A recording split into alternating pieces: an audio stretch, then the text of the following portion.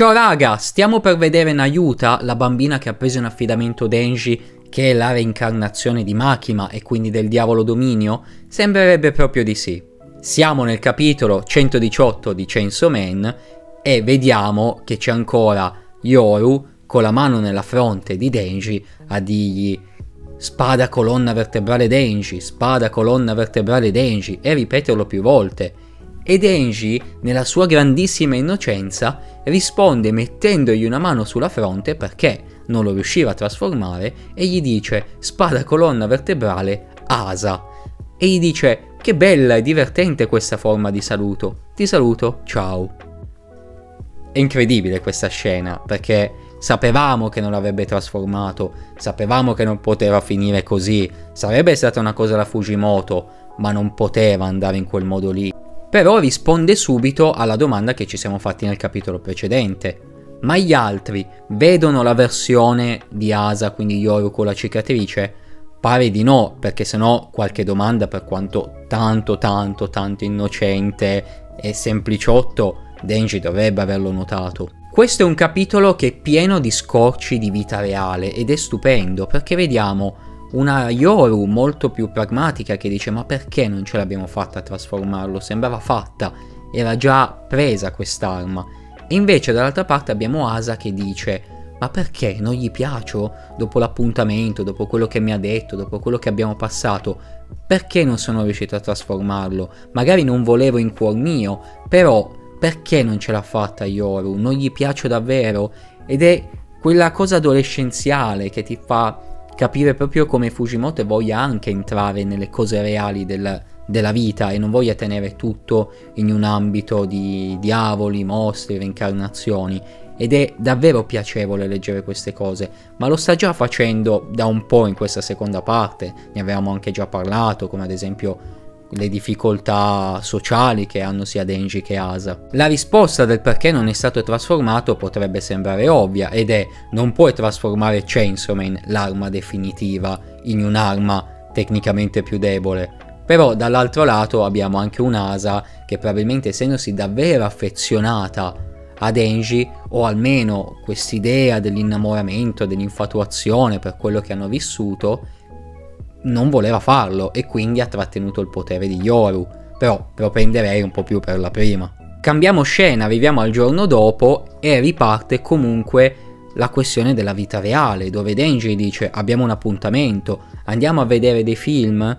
E gli cita però il prezzo di questi film. E Asa giustamente si spaventa dal prezzo perché sono degli adolescenti che vivono da soli, vabbè Denji in una situazione un po' più particolare, ma Asa vive da sola e comunque anche il fattore economico è estremamente importante, non solo per Denji che fa quel che fa e abbiamo scoperto il perché lo fa, quindi per dare un futuro migliore a Nayuta, ma lei anche, quindi c'è proprio la vita reale trasportata in questo mondo particolare, cruento e crudele. E allora vengono alla conclusione di andare a casa di Denji affittando un film, ma qua arriva il bello. Denji le dice, va benissimo, vieni a casa, ma ci sono delle regole ferree da rispettare, perché se non dovessi rispettarle potresti addirittura morire. E lì vediamo anche il presidente del club di cacciatori che lì che spia fa addirittura morire, ma io adesso mi immagino questa scena divertentissima, lui che cerca di spiarli e arriva Yoshida che gli fa stai buono lì, fatti gli affari tuoi, che la vita deve andare come deve andare, no? Ovviamente, come dire, non rovinare il loro appuntamento per lui, ma per Yoshida potrebbe sapere molto di più di quello che pensiamo sappia. C'è una cosa molto interessante che è il dialogo tra Asa e Yoru, dove parlano del diavolo fame. Nel video precedente parlai di un pseudo accordo tra Yoshida e proprio il diavolo fame, perché c'è uno sguardo di intesa, c'è uno sguardo come dire sapevo che tu eri qua, sapevo cosa volevi fare, ma a sto giro si è risolta, ma l'avrei magari risolta io, perché potrebbe essere tra di loro un accordo, ma allo stesso tempo cercano di fregarsi a vicenda.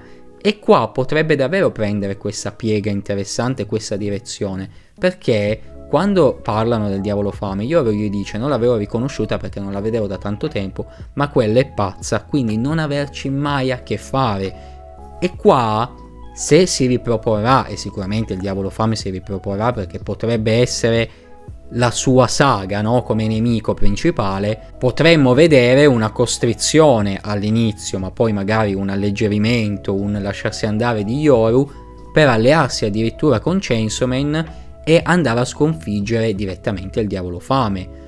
O magari con Chainsaw non si alleerà mai perché non si vedranno mai in questa saga, almeno prima di sconfiggere appunto il Diavolo Fame. E a proposito di diavoli, ritorniamo a Nayuta e al fatto che se non rispetti le regole a casa di Denji potresti morire. E come lo dice lui che tiene lo sguardo basso, sembra davvero triste, sembra ricordarsi del fatto che lui è magari morto più di una volta perché non ha rispettato le regole e ricordiamoci che Nayuta è appunto la reincarnazione del diavolo dominio. Il diavolo dominio ha una certa caratterizzazione e lo vedevamo anche in Makima, quindi potrebbe aver imposto delle regole che tutti devono rispettare, ma proprio per suo comportamento. Magari vuole bene a Denji, ovvio che gli vuole bene perché Denji vuole bene a lei e lo si capisce dalle frasi che ha detto nello scorso capitolo, ma comunque la sua forza, il suo diavolo non gli permettono di vivere bene al 100%, quindi deve per forza imporre queste regole, magari costretta ad imporle proprio per vivere bene e non farsi, eh, diciamo, superare, surclassare dalla volontà del diavolo.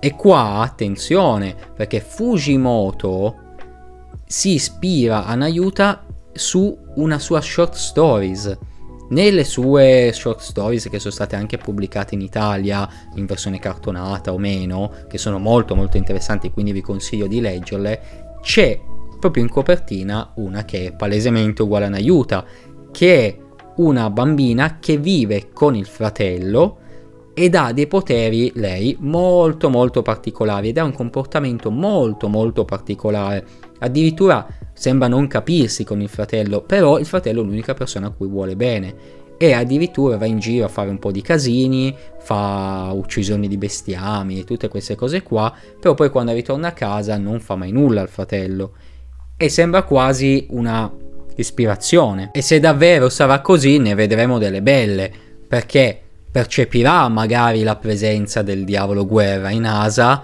e potrebbe imporgli delle regole molto particolari e potrebbero succedere dei bei casini in quella casa. Io non penso che quell'appuntamento sarà un appuntamento perfetto, a meno che, a meno che non si riesca a ribaltare la situazione. Quindi un Denji super preoccupato invece non avrà nulla di cui preoccuparsi perché sia Asa che Yoru in combo riusciranno a farsi voler bene da Nayuta perché magari da una parte Asa con l'innocenza della bambina, di tutte queste cose qua, dall'altra parte Yoru con la percezione di chi c'è all'interno di quel corpo là e che quindi vuole farsela amica, proprio per magari scoprire chi potrebbe essere Chainsaw.